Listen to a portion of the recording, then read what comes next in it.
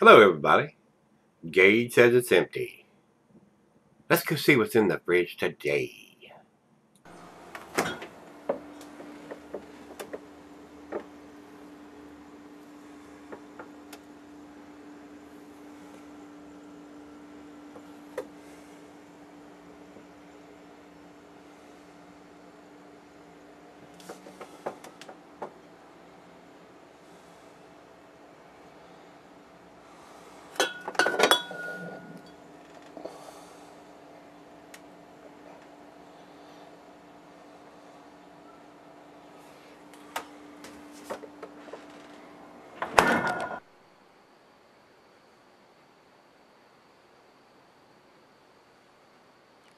Hey everybody, thanks for stopping by Greg's Beer Reviews today.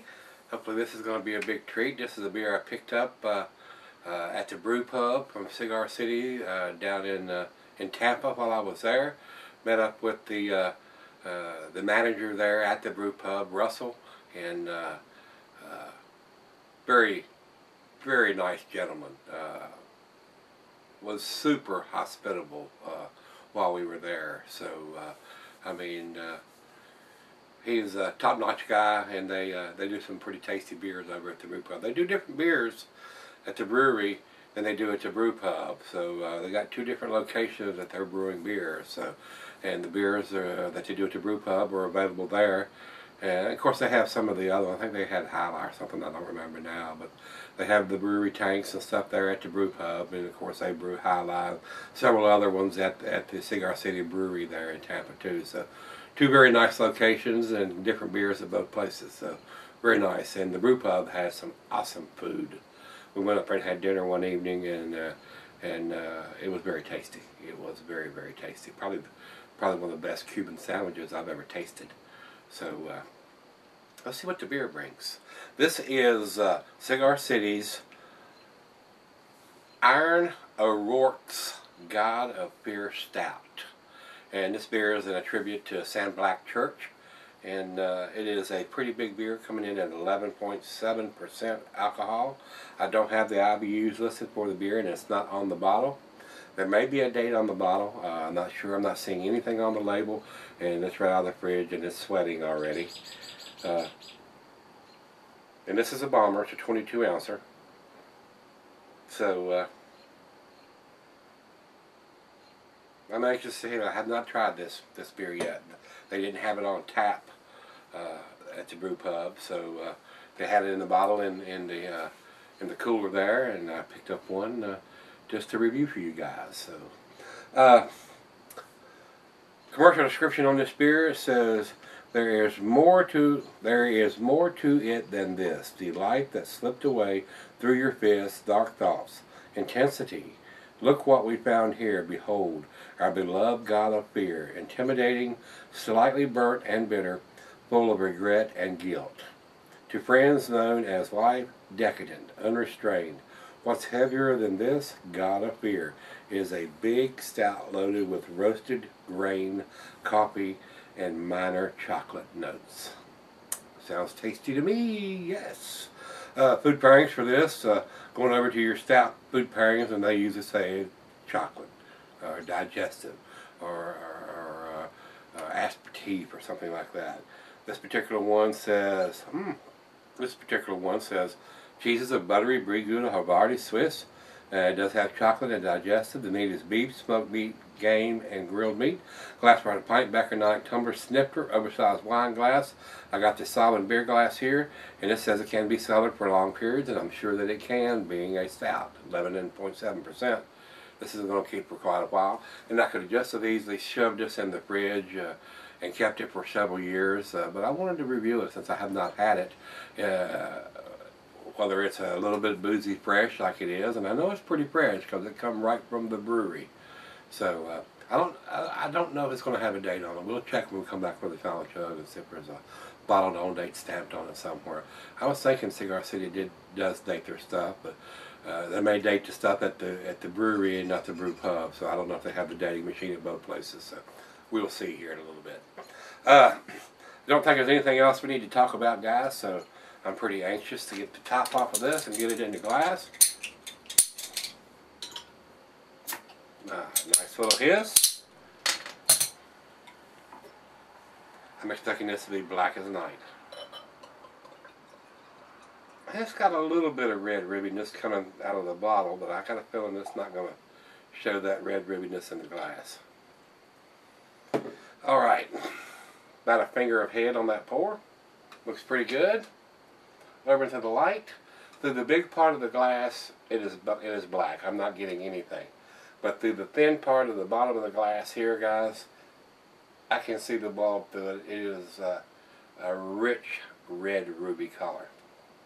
But I'm not getting it through the big part of the glass. So through the thin part, I can see through it. So it's not pitch black like mother oil. It is a deep red ruby as it poured out of the bottle into the glass, but the thickness of the glass makes it look a little darker. The thin part, I can see through. Let's get a nose on. Uh, I'm getting that rich, roasty, almost to the burnt uh, stage of the malt. I'm not getting a big booziness. I mean, it's not like it's a bourbon barrel aged version or anything like that where you're going to get that influence from the from the barrel. So I'm not getting the alcohol on the nose right now, but it's right out of the fridge. A little bit of coffee, a little bit of toffee, or, or maybe some brown sugar in there. Uh, maybe a hint of some licorice in there. Very nice smelling stout. Very nice smelling. Well, let's give it a taste. See what we got. Cheers, everybody. Let's get it on.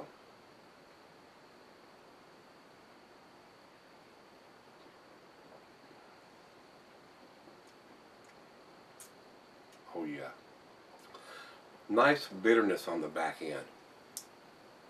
A lot of these really big stouts, it's up, will be almost sweet like, like a barley wine.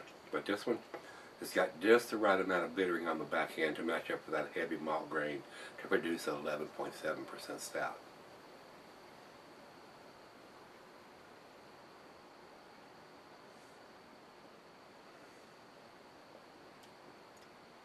That is very nice. That is very, very nice. Very easy drinking for an 11.7%.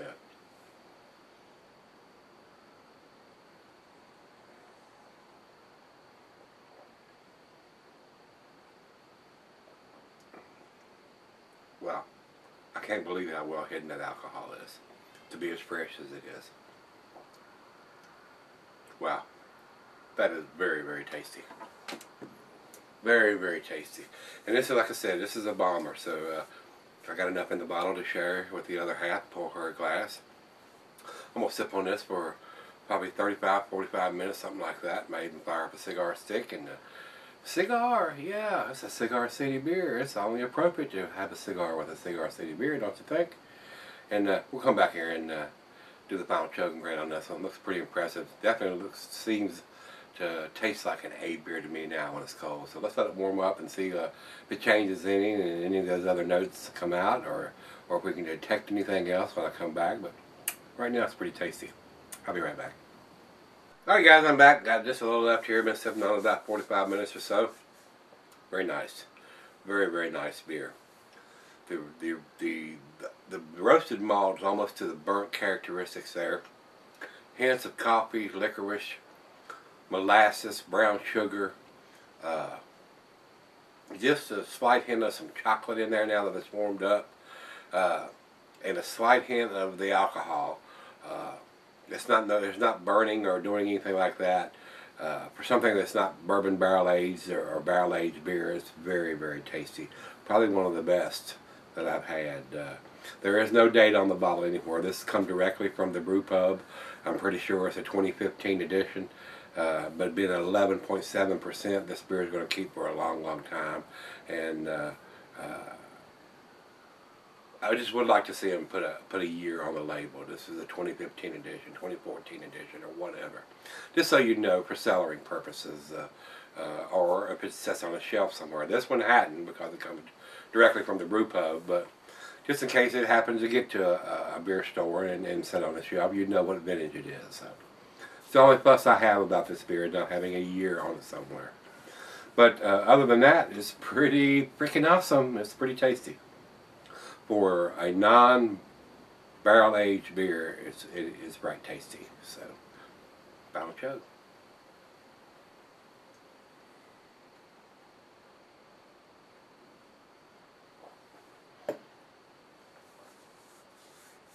Mm.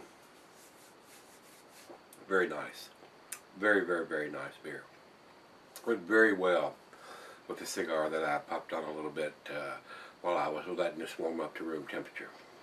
Uh, guys, uh, if you get a chance to get down to Tampa, visit Cigar City Brewery, and especially go over to uh, the Brew Pub up on Dale Mabry uh, Boulevard. Uh, I think it's the Boulevard. The the Brew Pub is very very nice. Uh, Russell, the uh, the manager there, was very he was super hospitable, very friendly, uh, easy to talk to, very very nice man very very nice man. So a big shout out to, to, to Russell for for for the hospitality that he showed there. And I'll give you this little hint that we had dinner there, and the wife got a Cuban sandwich, and she was blown away by this. And we had several Cuban sandwiches at different places while we were in Tampa, and. Uh, it was by far the best Cuban sandwich I probably have ever had or ever tasted. And she agrees that it, was pretty damn awesome. She was so impressed. She's trying to find uh, a Cuban uh, bread bakery around here where she can buy the Cuban bread and make the Cuban sandwiches here. She was that impressed with it. So uh, I have to find. I've looked online already, and uh, the uh, the machines, the presses that do them sandwiches are not cheap. I mean, of course, you can take a uh, an iron skillet and a, and a, a tinfoil wrapped brick uh, or two skillets and, put, and press it down and do that. But the machine that actually is made to, to do that kind of sandwich is kind of pricey. It's three, four, five hundred dollars for one of those machines. So I don't know if we'll be seeing one of those in the household anytime soon.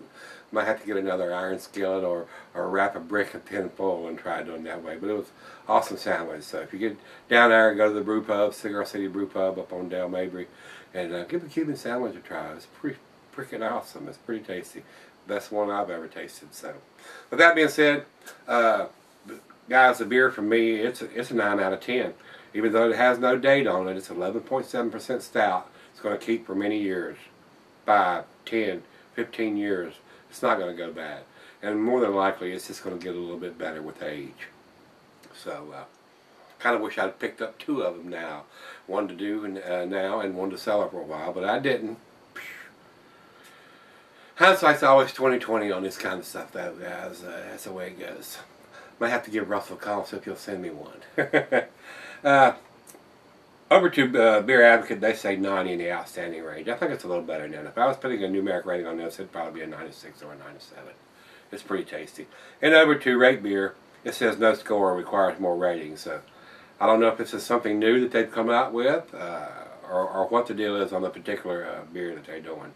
Uh, but it hasn't been reviewed by very many people.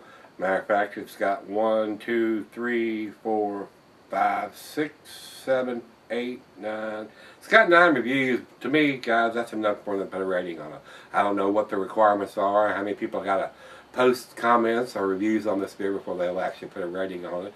Nine people have reviewed it. 3.5, 4, 3, 3. One guy has a 2.6, so he's, he's an idiot. 4.1, 3.6, 4.1, 3.4, 3.8. So, uh, on a scale of five, those are all pretty excellent numbers there, guys. So, very tasty beer from uh, Cigar City, uh, directly from the brew pub. This is their Iron O'Rourke's God of Fear Stout, a tribute to Sam Black Church. If you've had this one, guys, let me know what you think of it. And let's go see what's in the fridge tomorrow. See everybody then.